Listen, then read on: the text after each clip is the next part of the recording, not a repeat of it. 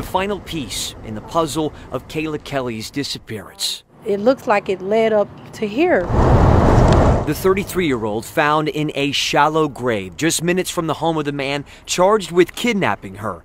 That man, Ocaster Ferguson. Uh, it's an absolute tragedy, her death. Uh, but uh, these investigators, um, they were bound and determined that we would find her. Kelly reported missing on January the 11th per investigators that she was dating Ferguson and recently found out he was married. Detectives say Kelly told friends she was going to blackmail Ferguson. Court documents read Kelly even threatened to tell his wife about their affair if he doesn't answer her via text. Her car found abandoned and burned in Frisco a day after she was reported missing. Investigators tracked Ferguson's phone to that area and jailed him on kidnapping charges days ago, but Kelly still missing.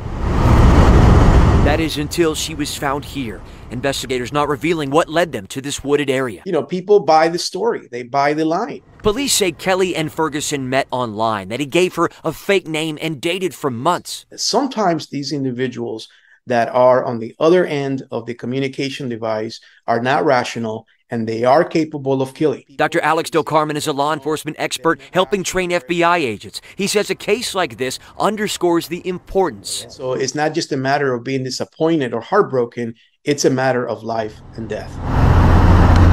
Of knowing who you date. In Grand Prairie, I'm Matt Howerton.